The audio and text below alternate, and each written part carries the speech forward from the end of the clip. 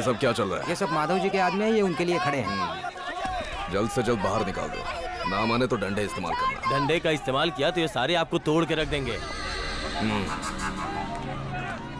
कौन हो तुम? मैं माधव भैया के साथ रहता हूँ। बॉडी अच्छी बनाई है। बॉडी नहीं मन अच्छा होना चाहिए। स्टेटमेंट अगर हो गया हो तो मैं पापा को ले जाऊँ। माधव भैया के बेटे हैं अज्जू। तुम्हें अब भी लग रहा है कि अपने बाप को वापस ले जाओगे। वो एक मुजरिम है। और मुझे नहीं लगता कि वो कानून के हाथों से बच पाएगा। जाली नोटों की जो एंबुलेंस पकड़ी गई है वो तुम्हारे बाप के नाम पर है। और जहाँ तक मैं जानता हूँ तुम्हारा बाप जाली नोटों का धंधा करने वाला बहुत बड़ा माफिया है। नहीं सर ये सब झूठ है। आज रात चंद्रगिरी के गराज से निकली है ये गाड़ी। मुजरिमों ने उस पुरानी गाड़ी को चुरा कर उसके बदले में इस गाड़ी को वहाँ रख दिया। जो भी साबित करना है कोर्ट में जाके करो। अ, कोर्ट में? हाँ कोर्ट में। जाली नोट सप्लाई करने वाले मुजरिम को कोर्ट में नहीं तो क्या मंदिर में पेश करेंगे? अब निकले यहाँ से। सर सर प्लीज़ सर आप मेरी बात मानिए प्लीज़ मेरे पापा इस मामले में कुछ नहीं जानते। तो मैं जानता हूँ उस बारे में। तुम्हारे पापा के बारे में मैंने बहुत कुछ पता किया है। He is a feudal fascist अपना काम पूरा करवाने वाला एक छटा हुआ गुंडा। मैं अच्छी तरह से जानता हूँ कि ऐसे लोगों का क्या करना है। तुम भी अपने पापा के नक्शे कदम पर चले तो तुम्हें भी अंदर डाल दूँगा। अंदर बैठकर दोनों भजन करते रहना गेट लॉस्ट तुम उन्हें कुछ भी नहीं करो। जमाल कहाँ जा रहा है? मुझे पापा को देखना है। ऐसा नहीं होगा। वो होगा सर। मैं पापा को देखने के बाद ही जाऊँगा। वो देखिए वहाँ पर। ये जो लोग हैं, मेहनत और ईमानदारी से मेरे पापा ने इन्हें अपना बनाया अगर मैं छोटा सा इशारा कर दूँ ना तो अंदर आ जाएँगे। फिर संभाल नहीं पाओगे उनको। ना तुम, ना तुम्हारे ऑफिसर। इसलिए मुझे मजबूर मत करो।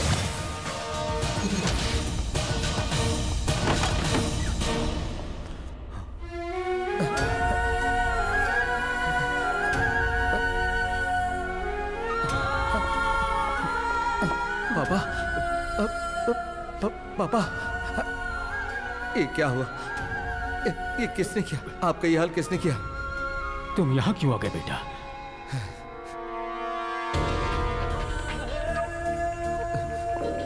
वर्गिस तुम भूल गए तुमने किस इंसान पर हाथ उठाया। मैंने कुछ नहीं किया। वो एसपी उसी ने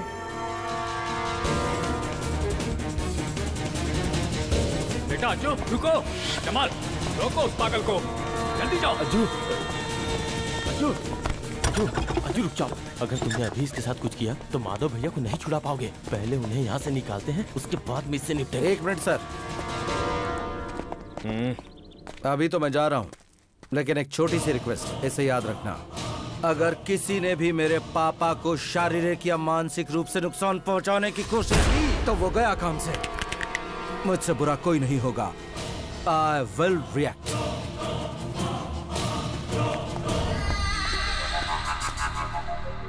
केस की अहमियत को देखते हुए लगता है। उन्हें बेल मिलना बहुत मुश्किल होगा। अगर एफआईआर दर्ज नहीं होता तब तो मैं ज़रूर बेल के लिए अप्लाई कर देता हाई कोर्ट में। लेकिन अब वो मुश्किल है। अ, तो फिर माधव भैया उन्हें रिमांड में लेकर जेल ले जाएँगे। अंकल कोई रास्ता नहीं है पापा के बाहर निकलने का। कोर्ट को सच्चाई पता चलनी चाहिए। हमें ये साबित करना होगा कि कोर्ट को गुमराह किया जा रहा है। माधव जी असली मुजरिम नहीं है इसलिए उन्हें छोड़ दिया जाए। बस यही एक रास्ता है। थैंक्स अंकल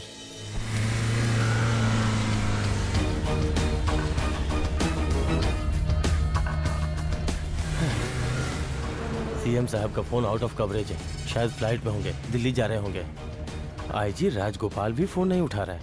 वो भी कहीं कोई खेल ना खेल रहा हो। मैं नहीं जानता ये साजिश या नहीं पर मुझे पापा को बचाना है। एक एक दिन उनके लिए खतरा है। कुछ भी कीमत देकर मैं उन्हें वहाँ से बाहर निकालूँगा। कहाँ से निकाल पाएगा उसे? चंद्रगिरी के माधव का साम्राज्य अब खत्म हो चुका है। बचा है उसका बेटा। उस कांटे को भी हम बड़े आराम से निकाल देंगे। भले ही उसका बाप बरगद का पेड़ है। लेकिन हम लोग पूरा जंगल है। और अगर इस जंगल को आप सलामत रखना चाहते हैं तो पेड़ को उखाड़ना होगा। आप अपने आदमियों को तैयार कीजिए क्योंकि जिस पेड़ को उखाड़ना है वो कोई साधारण पेड़ नहीं है। चंद्रगिरी का माधव है वो। तुम्हें बस इतना करना होगा कि हमारे बाप का कातिल माधव जब मर रहा हो तो उसकी दर्दनाक चीख मेरे कानों में ज़रूर पड़े। अगर तुमने मेरा यह काम कर दिया तो मैं तुम्हें सोने में तोल दूँगा। आपका काम पूरा होगा। ये वेट्रिवल पूरा करेगा।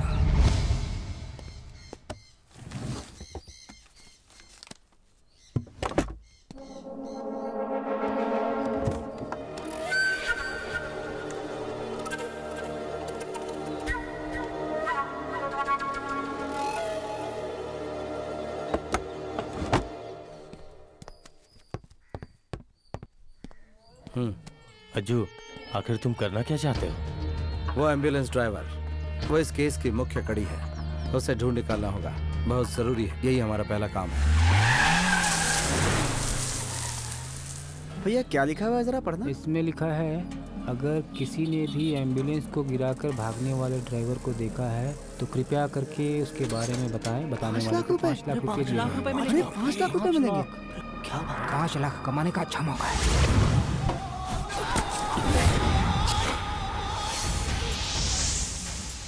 मालिक जी मालिक जी मालिक जी। क्या हुआ? बता दो क्या हुआ? मालिक जी को बुलाओ। अजू मालिक जी। मालिक जी मैंने उसे देखा है। हाँ मैंने उसे देखा है। अपनी आँखों से देखा है। हाँ।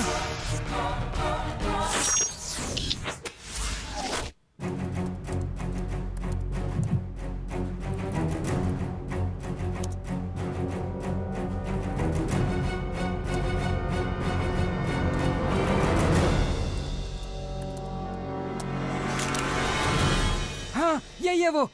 यही है वो। बिल्कुल यही है वो। लेकिन अभी से रातों रात हम कहाँ से ढूंढेंगे? एक तरीका है।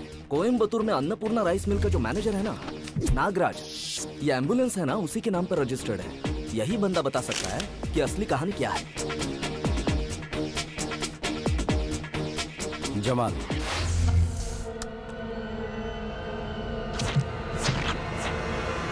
ओके।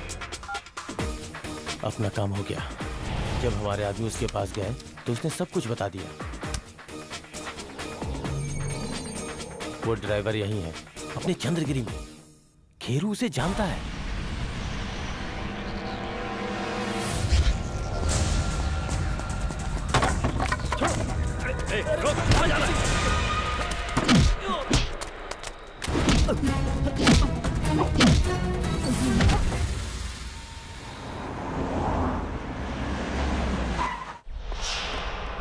मुझे डर है हमारी प्लानिंग फेल हो जाएगी। अब हम क्या करें? नहीं भैया डरने की ज़रूरत नहीं है। हमारा ड्राइवर मुस्तफ़ा कोर्ट में हमारे खिलाफ कुछ नहीं बोलेगा। मुझे यकीन है कोर्ट में माधव और उसका बेटा हार जाएँगे। उसके बाद माधव को चौदह दिन के रिमांड पर भेज दिया जाएगा। उसका जुर्म साबित हो जाएगा। भले ही हमारा मकसद पूरा नहीं हो पाएगा कि हम उसे जान से मार देंगे। फिर भी वो इनकी कृपा से ज़िंदगी भर चक्की पीसता रहेगा। वहाँ जेल की सलाखों के पीछे। क्यों?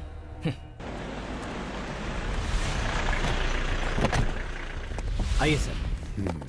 आओ माधव तुम्हें चिंता करने की ज़रूरत नहीं है। वो चैनल्स के रिपोर्टर्स कहाँ गए? सर अभी तक वो तो नहीं आने वाले। दरअसल अगर रिपोर्टर्स और मीडिया वाले यहाँ आ गए तो तुम्हारी और तुम जैसे पुलिस वालों की बहुत बदनामी होगी ऐसा मेरा मानना है।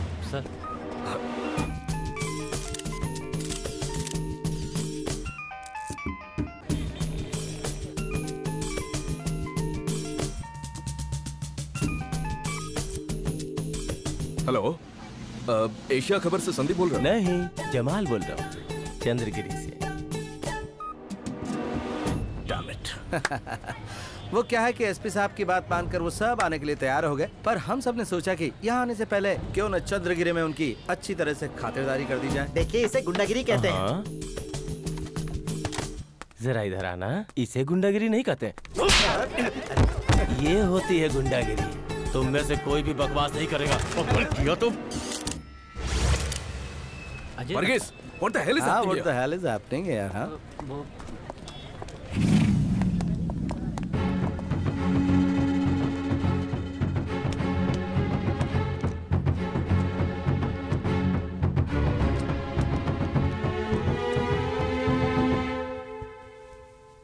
योर ऑनर मुजरिम ने देश के खिलाफ बहुत संगीन जुर्म किया है। ऑब्जेक्शन योर ऑनर मेरे मुवक्किल हमारे शहर के एक इज्जतदार और समाज के प्रतिष्ठित व्यक्तियों में गिने जाते हैं। वो इन जाली नोटों के बारे में कुछ भी नहीं जानते हैं। ये इल्ज़ाम झूठा है। असली मुजरिम को कोर्ट में पेश करने की मैं आपसे परमिशन चाहता हूँ। Yes proceed thank you your honour जिस एसपी चंद्रशेखर का खून हुआ ये उसकी एफआईआर है।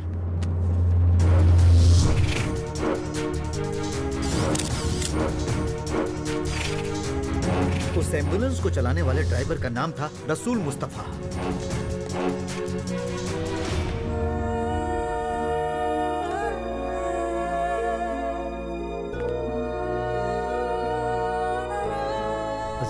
गाड़ी मैं ही चला रहा था, पर मुझे नहीं पता था कि उसमें जाली नोट भरे हुए हैं। बाद में जब पुलिस ने तहकीकात की, तब मुझे पता चला, इन सब में अन्नपूर्णा ग्रुप वालों का हाथ है। ये सारा जुर्म उन्हीं का किया हुआ है, और मुझे कुछ नहीं पता, हुजूर।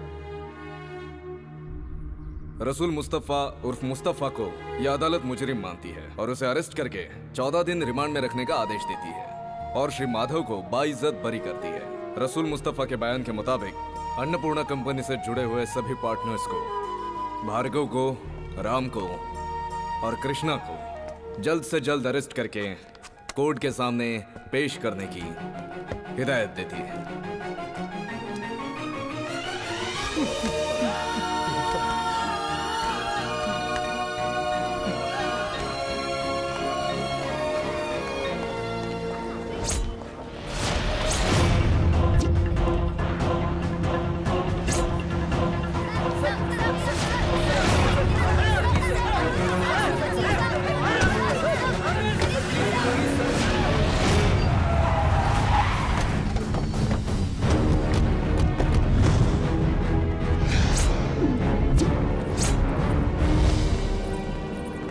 अरे वाह तुम सबको बहुत फक्र हो रहा होगा।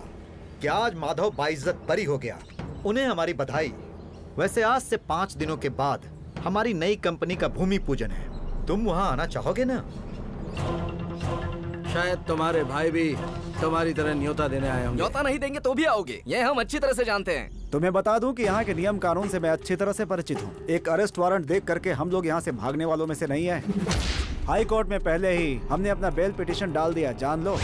बस इतनी देरी है कि जज अपना फैसला सुना दे उसके बाद तुम देख लेना। सजा काटने की बारी तुम बाप बेटी की ही आने वाली है। शेर का शिकार उसकी गुफा में कैसे किया जाता है ये हम अन्नपूर्णा ब्रदर्स जानते हैं। ए, चलो सब सुनो अन्नपूर्णा भाइयों। मेरे पापा यहाँ खड़े वरना मैं तुम्हारे सवालों का जवाब अपने पैर से देता। हमारी ज़ुबान हमारी सबसे बड़ी दुश्मन है। हमारी ज़ुबान हमारी सबसे बड़ी पहचान होती है। इसलिए ज़ुबान पर काबू रखना चाहिए। लेकिन ये बात कभी कभी हम भूल जाते हैं।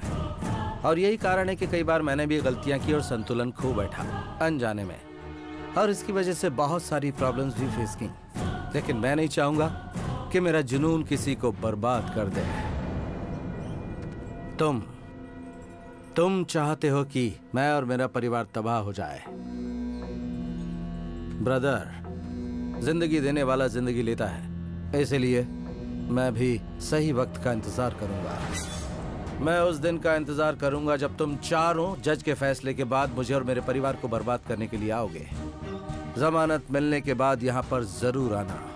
चंद्रगिरी का ये अज्जू तुम्हारा इंतज़ार करेगा। देखते हैं।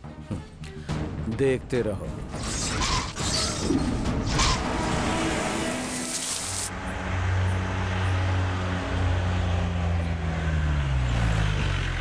यहाँ क्यों रोक दिया सर?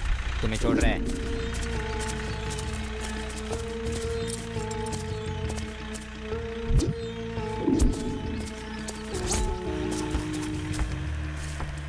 हम्म, इतने सालों तक तुमने अन्नपूर्णा का नमक खाया है इसलिए वो नहीं चाहते कि तुम जेल जाओ। वो लोग तुमसे खुश हैं। तुम्हें हम छोड़ देंगे। मेरे पास और कोई रास्ता नहीं था सर। मैंने वही कहा जो वो चाहते थे। अगर नहीं कहता तो मुझे और मेरे परिवार को मार देते वो। जानता हूँ इसीलिए तो तुम्हें छोड़ रहे हैं। जाओ, भाग जाओ यहाँ से।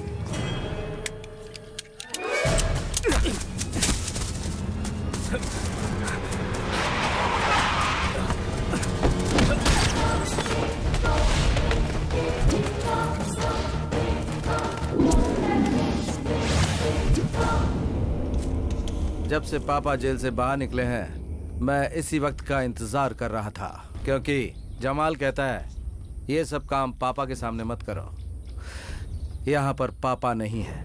सिर्फ़ तुम और मैं हूँ।